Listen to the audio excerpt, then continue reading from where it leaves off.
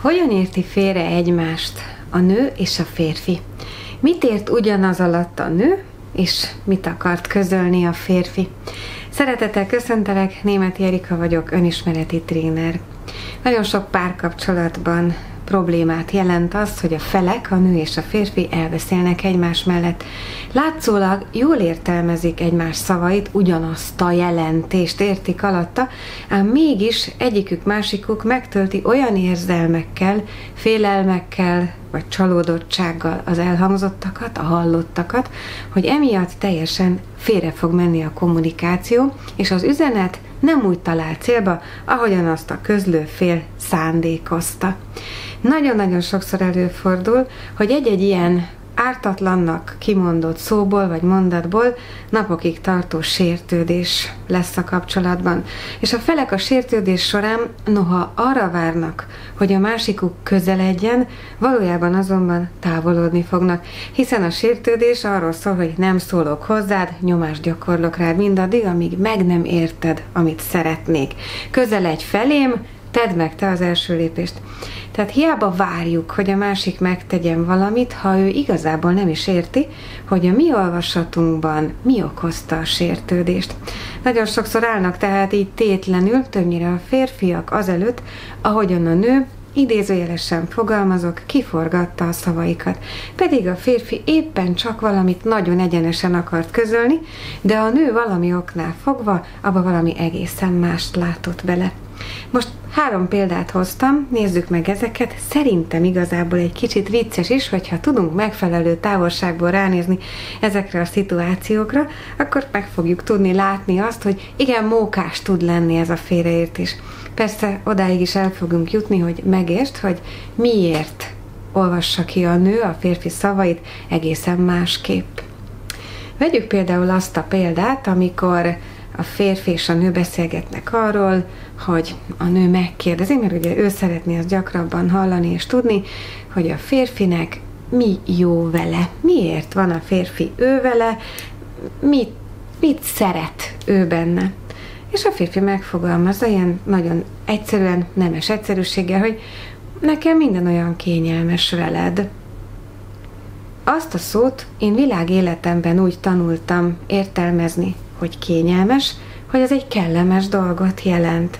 Ezért azt gondolom, hogy a férfinek is ez volt a szándéka, a kényelmes szóval, hogy azt adja a párja tudtára, nagyon egyszerű módon, hogy számára gyakorlatilag nagyon kényelmes ez a kapcsolat, ami egyenlőségjellel azt jelenti, hogy nincsenek benne hajcihők, nincsenek benne hisztik, minden olyan könnyed, minden kiszámítható, vagyis a férfi a kényelmesben tulajdonképpen azt akarta kifejezni, hogy neki minden jó.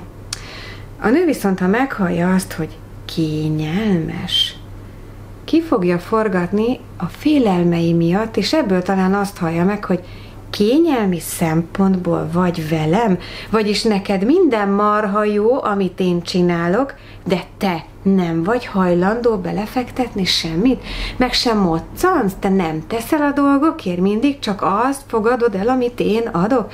Hát marha jó, hogy te kényelemből vagy benne, és nem azért, hogy tegyél is érte meg, hogy én is boldog legyek, és nem azért vagy itt, mert szeretsz, hanem csak azért, mert olyan kényelmes, mintha nem is lenne más, ami jobb lenne. Ha ló nincs, szamár is jó, alapon vagy velem.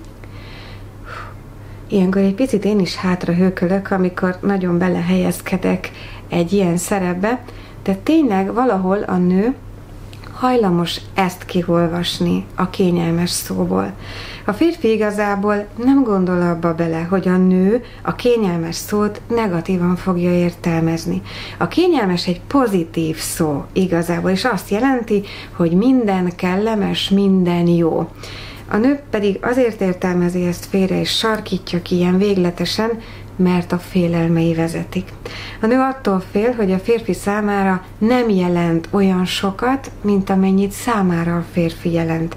A nő úgy érzékeli, hogy ő nagyon sok mindent megtesz a kapcsolatért, nagyon sok energiát almoz bele, nagyon sok mindenben figyel a férfire, és fél attól, hogy ez nem lesz meg, meg ö, nem lesz viszonozva, hogy nem fogja visszakapni hálával, szeretettel, odafigyeléssel, vágyjal a férfi részéről mindezt az odaadást és igyekezetet, amit a nő beletett a kapcsolatba.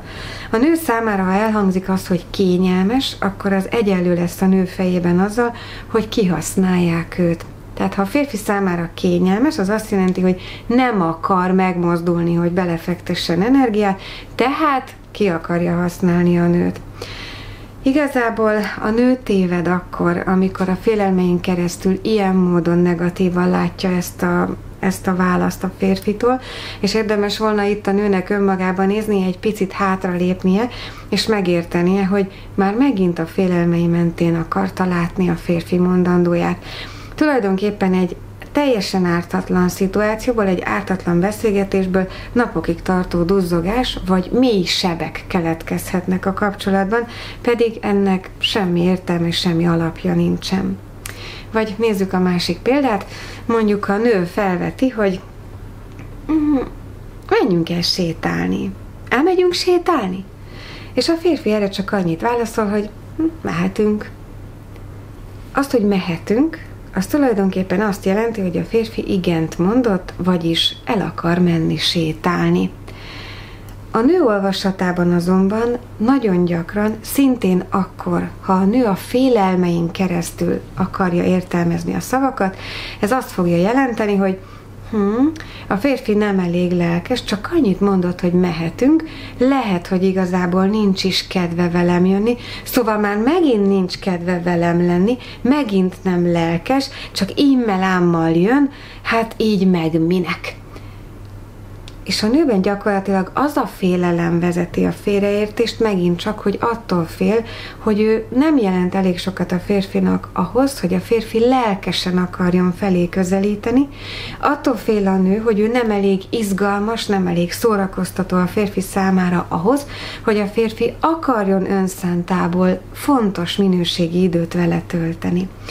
Megint csak ugyanaz a tanács, hogy ne a félelméken keresztül akarjuk értelmezni a férfit, mert napokig tartó vita lesz teljesen értelmetlen gondolatok mentén a kapcsolatban, ahelyett, hogy a vágyott közeledést valósítanák meg a felek.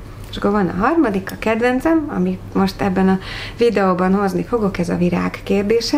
Ugye nagyon sok nőben fut az a program, fut az az igény a neveltetése folytán, hogy szeretne virágot kapni a férfitől. Itt igazából nem is a virág a lényeg. Tehát nem arról van szó, hogy szeretné, hogyha virágokkal lenne tele otthon a kis váza, hanem azt szeretné, hogy a férfi a virággal, mint eszközzel fejezze ki a számára azt, hogy ő nagyon fontos a férfinak. És hát nem kap virágot, nem kap virágot. Egy idő után a nő, hogyha ez számára fontos ö, gesztus, akkor szóvá fogja tenni és meg fogja jegyezni a férfinak, kedvesen vagy éppen gorombán, sokat gyára jegyzi meg, akkor már inkább gorombán fogja, hogy én szeretnék virágot kapni, de hát tényleg sose kapok. Na, a férfi úgy dönt, hogy rendben van, ha ez a vágya a kedvesemnek, akkor elmegyek, veszek neki virágot. És másnap egy virág csokorral állít haza. Azt gondolja, hogy na most végre örömet okoz a kedves párjának, azonban a nő nem tudja szeretettel, örömmel és lelkesedéssel befogadni a gesztust, mert azt fogja mondani és gondolni, hogy hát így már nem is olyan igazi. Miért nem magadtól jutott eszedbe, hogy hozzá virágot? Így nem az igazi, hogy én mondtam. Szóval megint itt ugyanarról van szó, hogy a férfi nem csak közöl, hanem tesz egy gesztust, amivel úgy gondolja, hogy akkor végre örömet szerezhet a párjának, hiszen a párja kifejezte, hogy ezt szeretné. Ugyanakkor belefut abba az ellenállásba a hölgy részéről, hogy ez miért nem saját gondolata volt. A férfiban ez nyilvánvalóan úgy fog lecsapódni, hogy ő tőle gondolatolvasást vár el a kedvese. De hát hogyan tudná ő kiolvasni a hölgy a nő gondolatait, hogyha őt nem így nevelték, ha neki nincsen ilyen séma a fejébe, hogy virágot kéne hoznia. Igazából, ha a nő helyébe helyezkedünk bele, a nő örülhetne is miért a szomorkodást választja, miért a veszekedést választja, hiszen ugyanennyi energiával örülhetne is annak, hogy nolám, eddig nem hozott a Béla virágot, mert nem tudta, hogy ezt így kéne, vagy így szeretném, de milyen tanulékony ez a Béla, hát most megtette. Mindegy, hogy kértem vagy sem, de úgy tűnik meghallgatta azt, hogy nekem mi a fontos, és most itt van a virággal előttem, azért, hogy örömet szerezzen nekem. Ha a félelmeiden keresztül értelmezed a férfi szavait és gesztusait nőként, akkor természetesen, természetes lesz, hogy távolodni fogtok a kapcsolatban, holott arra vágytok, hogy közeledjetek.